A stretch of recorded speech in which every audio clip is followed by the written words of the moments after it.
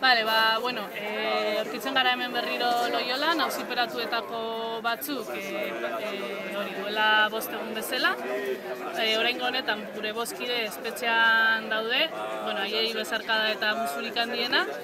Eta, ba, bueno, e, azkenean etorri gara ona, ba, epaiketako lehenengo egun hauen eta azkigune honen e, valorazio bat egitera. Ba, esatea e, valorazio oso positiboa egiten dugula, E, izan ere, ba, ikusi dugu e, herri erantzun ikaragarri bat, e, zorionak eta batez ere eskerrak ematea e, ona urbildu den jende guztiari, ba, egindako aportazioagatik eta eskenitako babesagatik.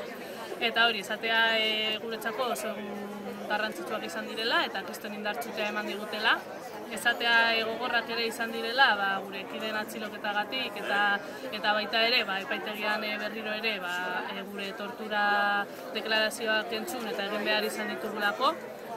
Eta ba, bueno, horren arira, esatea datorren urriaren zeian e, berriro berrartuko dela gure epaiketa, eta ba, bueno, bertan hasiko direla e, torturatu gintuzten polizia espainiarrak e, deklaratzen gure kontra, ez, gezurra, gezurrak e, deklaratzen gure kontra.